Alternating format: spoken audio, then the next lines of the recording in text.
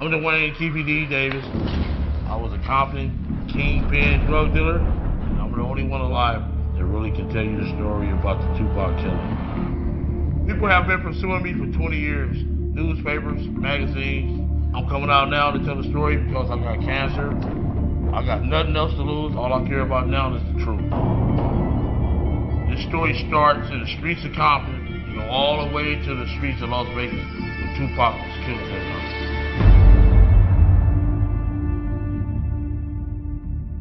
All the people that was in Vegas that weekend, it's like a curse. Everybody is dead or got life in prison. It was a crazy night and I was a witness to everything that happened. And it will surprise you the truth I got to tell you.